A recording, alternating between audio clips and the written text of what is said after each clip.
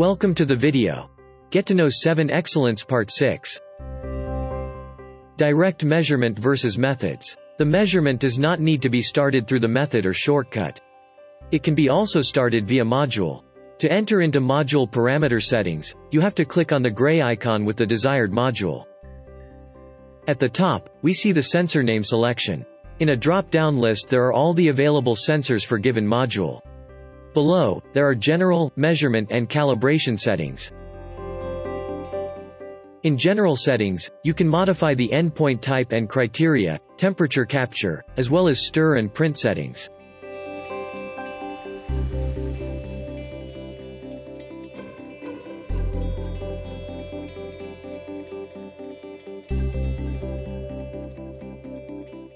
In measurement settings, you can change sample ID, Select the auto-sequential sample ID, unit type, decimal places and set the interval measurement.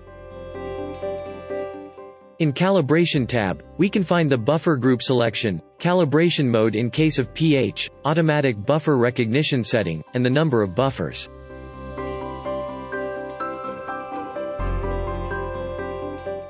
To start the measurement via method, read has to be pressed. To start the calibration, you need to press the calibrate button. Thank you for tuning in to the Get to Know SevenExcellence series, and stay tuned for more informative series like this one.